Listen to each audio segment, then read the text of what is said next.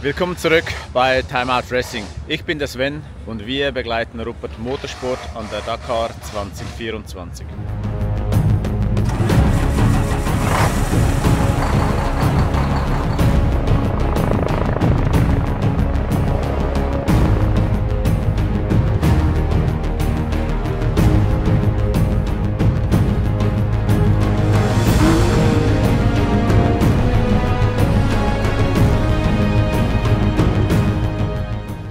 Samstag, 13. Januar. Wir sind im Camp in Riyadh. Heute ist Rest Day, das heißt keine Etappen, für alle etwas mehr Zeit. Die Autos werden auf Vordermann gebracht, die Motorräder natürlich auch.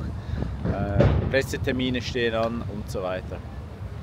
Für uns, für uns heißt das, es gibt viel anzuschauen, viel Spannendes und wenn ihr Lust habt, dann kommt auch mit. Hier wird die große Zerlegung gemacht am Rest Day.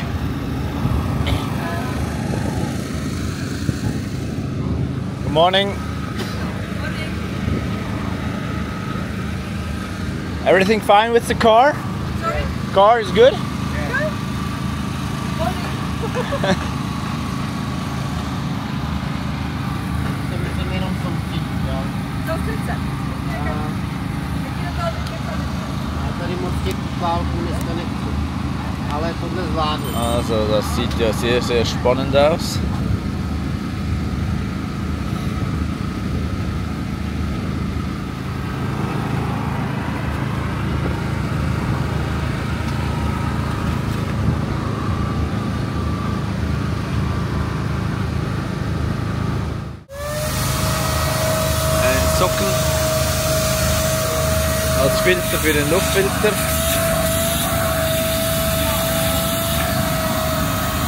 Also im Auto ist alles okay, haben sie gesagt. Ein bisschen müde sind sie. Gefühlt ist das Camp hier in Riyadh größer. Man sieht, es hat viel mehr, viel mehr freien Platz.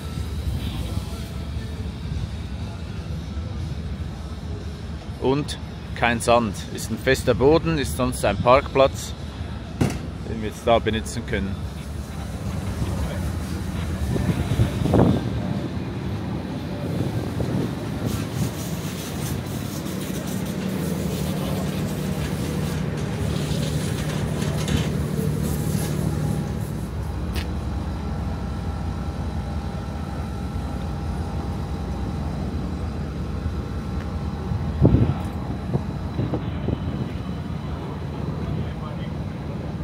Hier ein Classic LKW.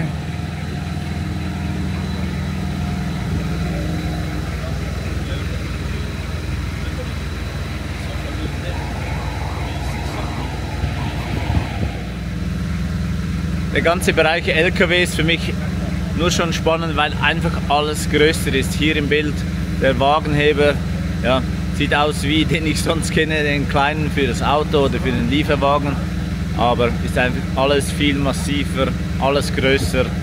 Der Schlagschrauber ist größer. Das macht es sehr spannend, aber für mich finde ich auch sehr aufwendig als Service. Ja, ist alles schwer, alles größer, braucht alles mehr Platz. Noch als Information, also man bezahlt ein, eine Gebühr für einen LKW und zusätzlich eine für den Anhänger. Also ein Anhänger kostet auch für die Fähre und so weiter, wenn man den mitnehmen will. Haben gewisse Teams keine Anhänger dabei, zum Beispiel wie wir, um einfach um die Kosten zu sparen. Der fährt nicht mehr mit in der Wertung, daher steht der einfach so rum.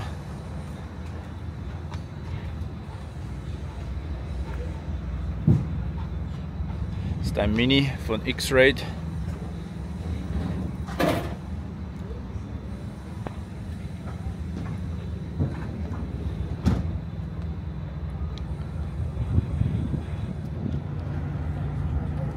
Für die Malemoto-Kategorie, für die Teilnehmer heute sicher ein wichtiger Tag, um das Bike genauer durchzuchecken.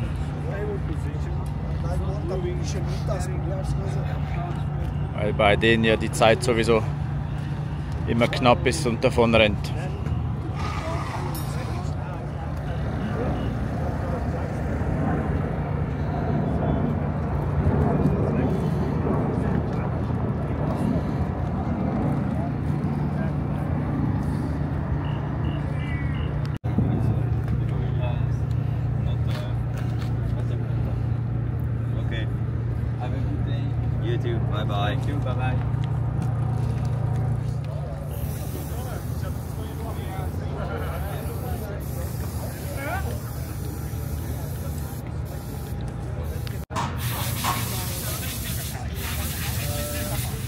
Die Zuschauer, die neu dabei sind, die Malemoto-Kategorie, das sind Teilnehmer, die keinen exter externen Service beanspruchen dürfen, alles alleine erledigen müssen, Reparatur. Und äh, die haben nur so eine Kiste dabei, daher werden sie auch die Kistenfahrer genannt. Und mit diesen Möglichkeiten müssen sie das Bike reparieren. Ersatzteile, die dürfen sie beschaffen hier. Also der Tobi, der kann zu KTM und hier ist gerade ein, ein Kove Motorrad und da ist einer von Kove dabei, daher die können sich Ersatzteile beschaffen, aber sie dürfen keinen Mechaniker in Anspruch nehmen, um das zu reparieren.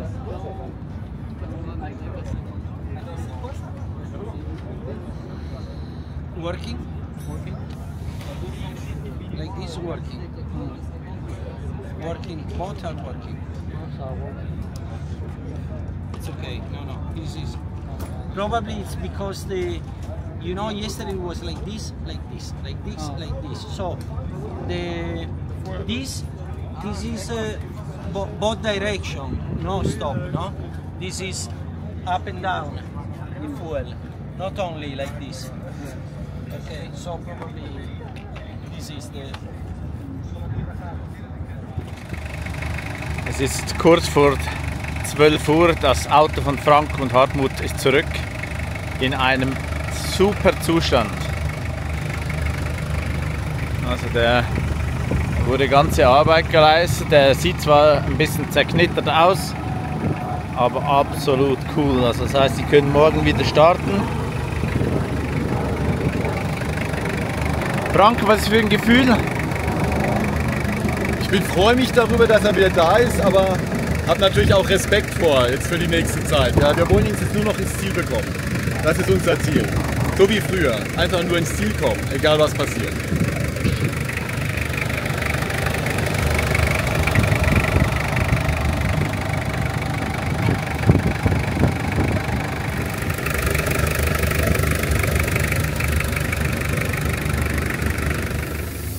Bei BRX habe ich was Cooles entdeckt.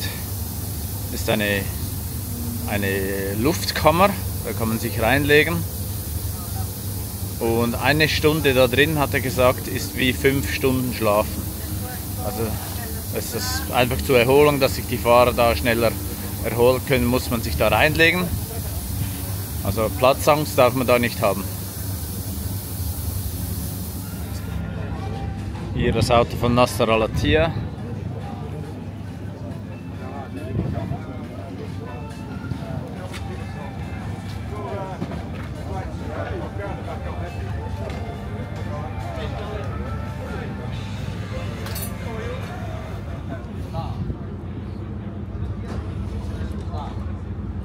Gleich nebenan die ProDrive Hunter von den chinesischen Teams.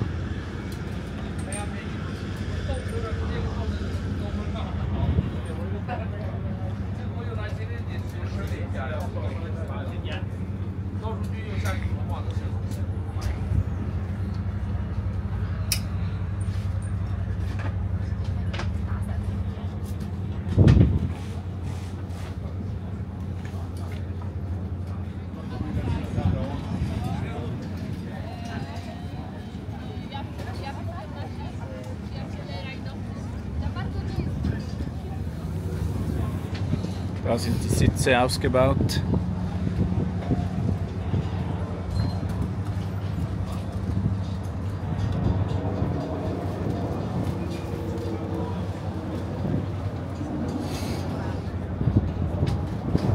Ich weiß nicht, ob es rüberkommt auf, im Verhältnis auf der Kamera, aber die Breite von diesem Camper, Camper-Lastwagen ist unglaublich, auch ohne Slideouts. Also keine Ahnung, wie breit das der ist, aber breiter als bei uns.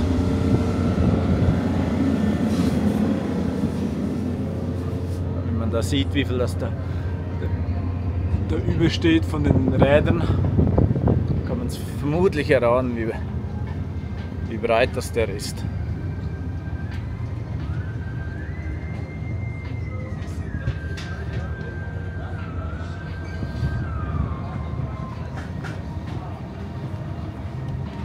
Also er steht 60 cm auf jeder Seite noch raus, der, Vor der Aufbau. Hier steht der Wasserstoff Amarok, also der wasserstoffangetriebene Amarok.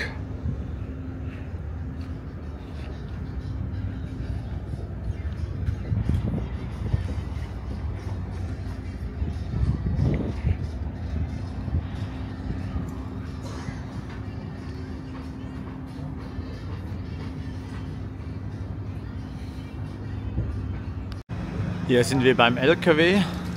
So, ich, so wie ich jetzt das verstehe, ist das ein Hybrid, also Wasserstoff und Diesel.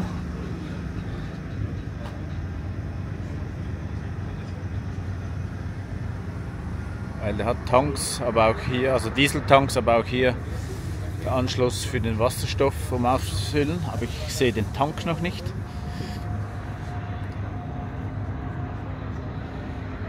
Weil hinten ist alles leer. Da hat es nur ein Bett. Ah ne, gefunden. Da das schwarze. Das da. Das wird der Wasserstofftank sein. Also ist hybrid angetrieben. Also ich habe da gefragt, wie das funktioniert. Aber ähm, die können nur Spanisch und mein Spanisch, Spanisch ist sehr schlecht. Aber er hat gesagt, es hat kein Diesel. Da fehlen mir dann die, die Kenntnisse von Motoren, um das richtig einzuschätzen. Aber scheint kein Diesel zu haben.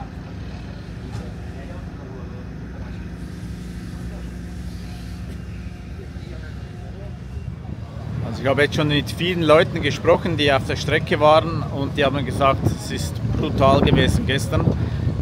Gewisse haben gesagt mit dem Renn-LKW, wenn sie es wussten, dass es so hart war, wären sie gar nicht reingefahren.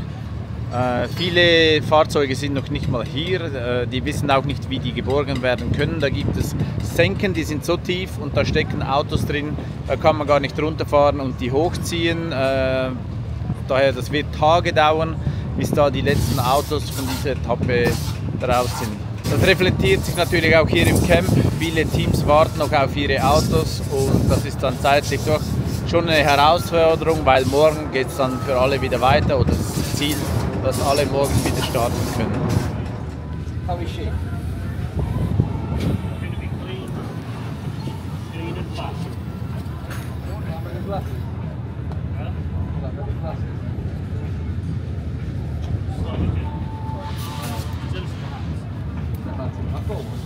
Hier werden da die Ölkühler gereinigt.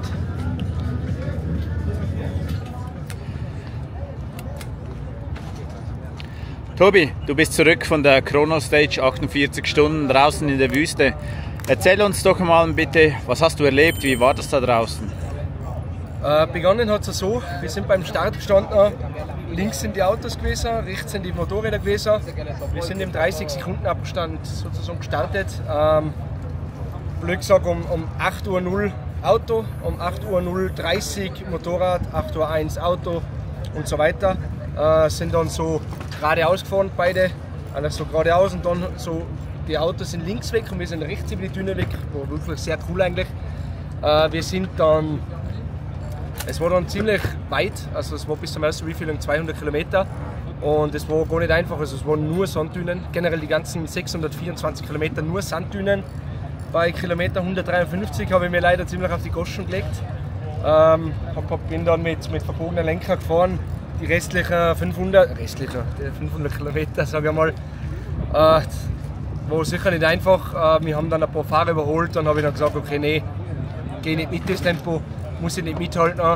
Ähm, wenn ich gesund bin, weiß ich, kann es. Wenn der Lenker gerade ist, weiß ich, kann es. Deswegen ist mir egal. Ich will die Stage finishen. Und dann um 16 Uhr am Bivouac sozusagen haben sie gesagt, okay, stopp jetzt, weiter dürfen wir fahren. Da mussten wir dann übernachten und am nächsten Tag um 6.20 Uhr in der Früh ist es weitergegangen. Wir haben da äh, eine, einen Schlafsack gekriegt, ein Zelt gekriegt und das war Essensration. Das war es aber noch. Wir haben keine Matratze gekriegt und keine Zahnbürste und nichts. Ähm, ja, haben dann sozusagen im Schlafsack geschlafen und dann am nächsten Tag um 6.20 Uhr in der Früh weitergegangen.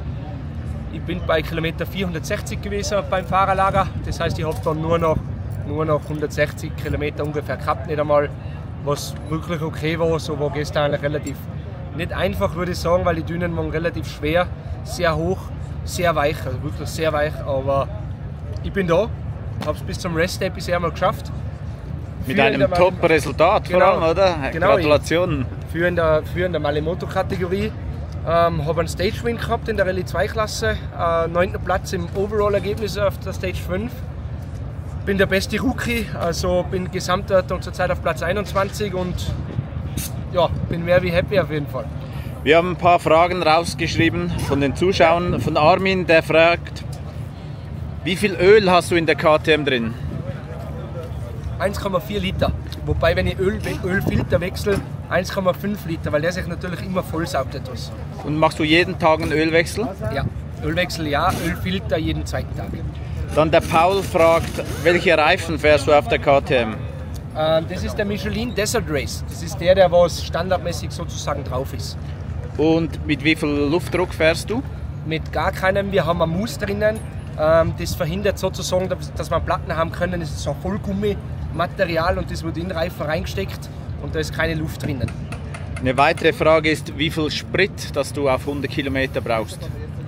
Gestern war es sehr, also jetzt, das hängt davon ab. Also wenn wirklich eine sandige Etappe ist, so wie es vor zwei Tagen war, ähm, da brauchen wir auf 100, Lit 100 Kilometer teilweise 18 Liter. Also ist schon gescheit viel. Das ist vor allem, wenn man bei dem tiefen Sand oder wenn, wenn es wirklich Vollgas die Shots entlang geht, da spürst du richtig, du bist auf Vollgas und es geht aber nicht wirklich was weiter und da kannst du richtig zuschauen, wie es eigentlich runtergeht sozusagen. Wenn jetzt äh, auf einer Hartbodenpiste äh, kommst mit, äh, kommst mit 18 Liter ungefähr 150 Kilometer. Und wie findet man dich auf Instagram?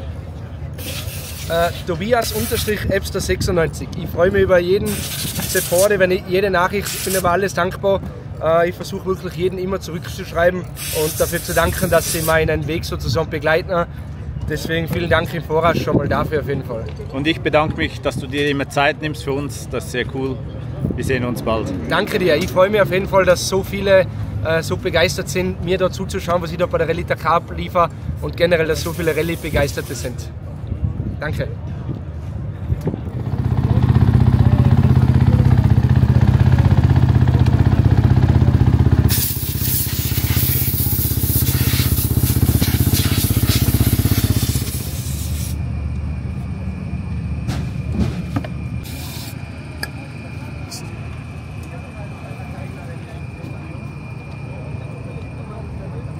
Genau wegen sowas. Metallspäne, hä? Ja. heftig. Ja.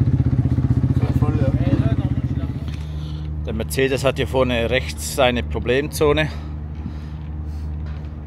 Die Reifendruckanlage ist da immer ein bisschen undicht, daher wird das jetzt geöffnet. Und dann frisch abgedichtet. Und Christian ist unterwegs zum Reifen suchen, also gebrauchte.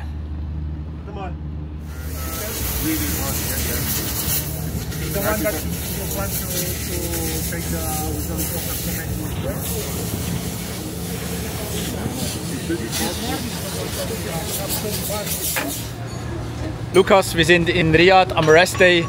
Die letzten 48 Stunden waren für alle hart. Wie war das, Erle das Erlebnis für euch?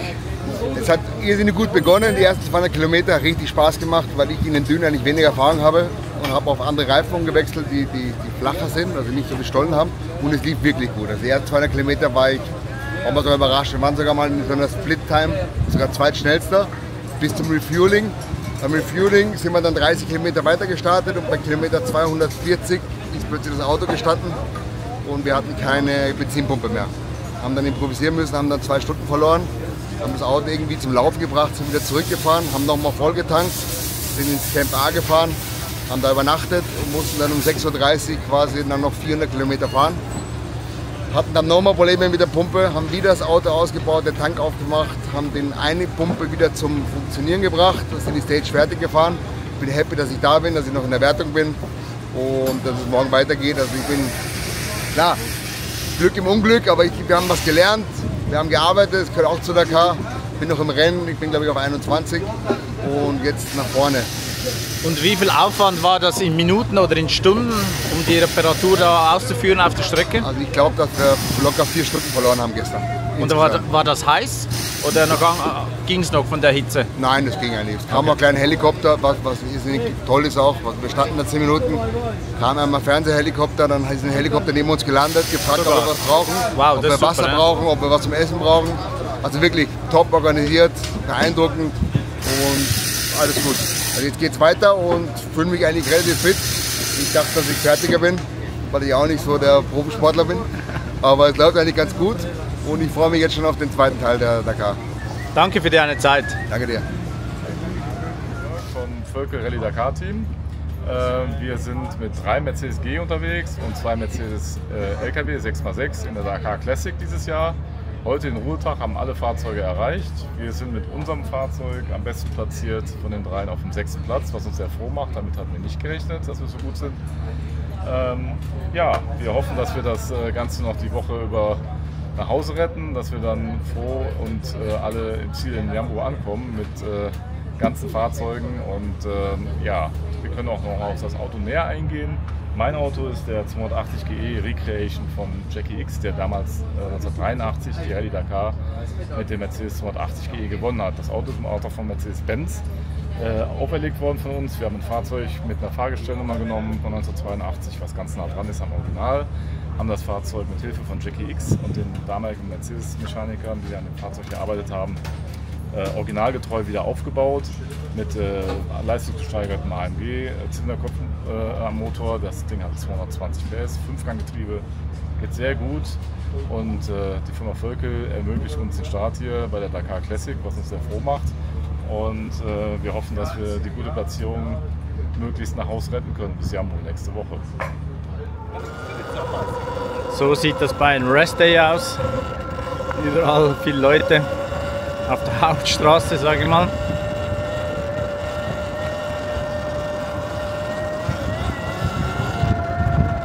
Bei diesem Side-by-Side -Side ist die Kupplung offen und ich würde sagen, das schauen wir uns mal an. Hier sieht man die, die Kupplung, der Antrieb Vario.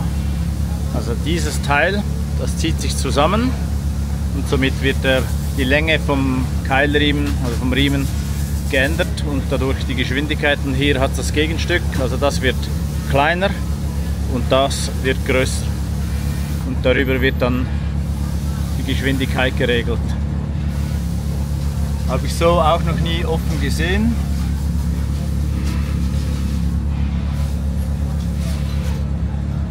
Für mich sehr spannend.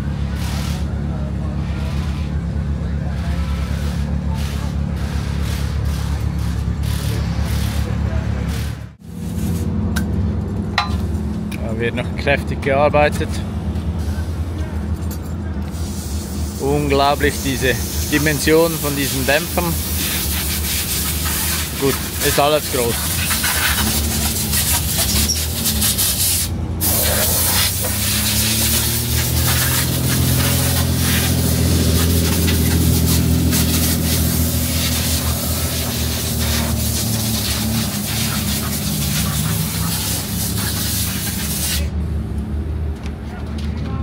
Ist ein Team aus der Mongolei.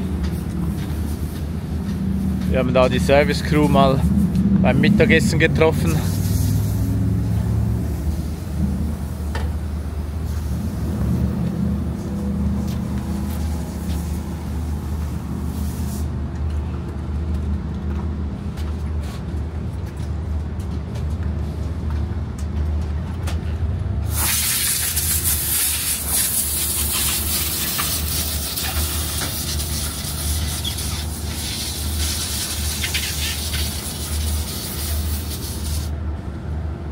Vielleicht habt ihr es mitbekommen, der Yazid, der geführt hat, hatte einen mehrfachen Überschlag und ist äh, dann die Stage nicht fertig gefahren und das Auto kann re nicht repariert werden.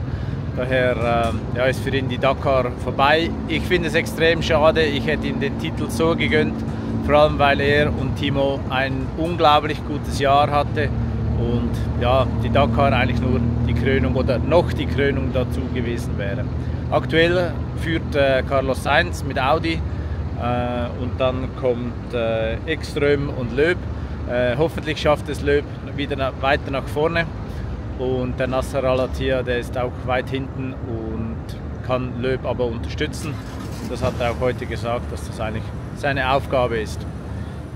Dann, ich habe es schon mal erwähnt, aber herzlichen Dank für die vielen Bestellungen von unseren T-Shirts, Hoodies, Aufkleber, Tassen habe ich auch gesehen. Äh, ja, freut uns sehr. Vielen Dank dafür. Und wir brauchen noch eine Nummer für heute. Und ich würde sagen, die Nummer ist 77 bin ich per Zufall draufgekommen. Hat keinen Zusammenhang mit heute. Es ist sehr unterschiedlich, wie weit die Teams sind. Vor bei chinesischen ProDrive äh, Team wurde schon, wurden die Zelte abgebaut, alles schon fertig. Hier wird noch heftig geschraubt. Das ist generell so, aber dieses Mal ist es sicher noch viel extremer, weil die Autos natürlich die einen schon da waren und die anderen viel später reinkamen.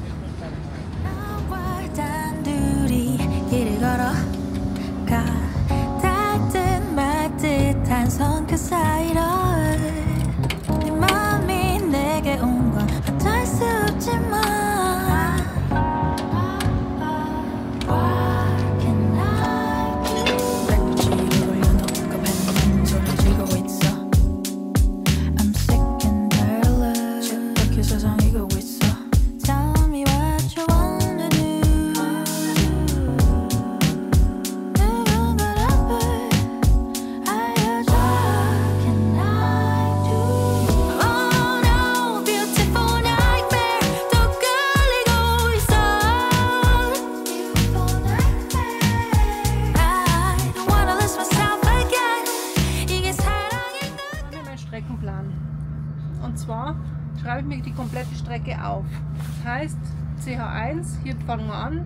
das sind dann die Kilometer, wo wir fahren bis zur Etappe.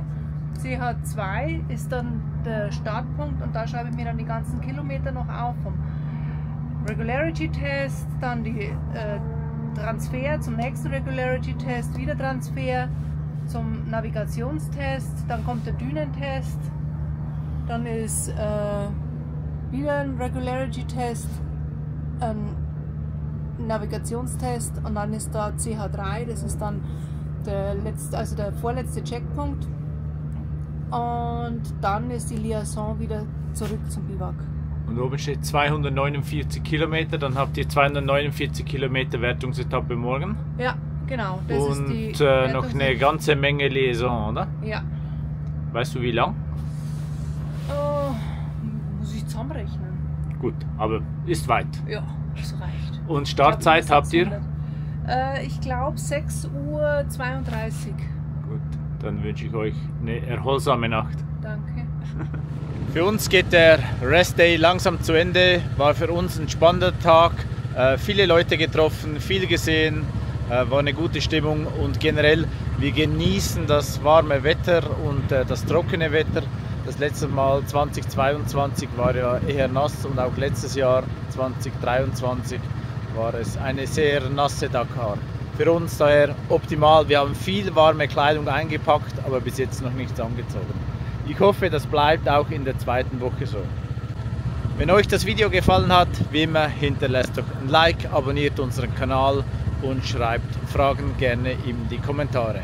Wir wünschen euch eine gute Zeit und wir hoffen, ihr seid auch morgen bei Time Out Racing wieder dabei. Gute Nacht.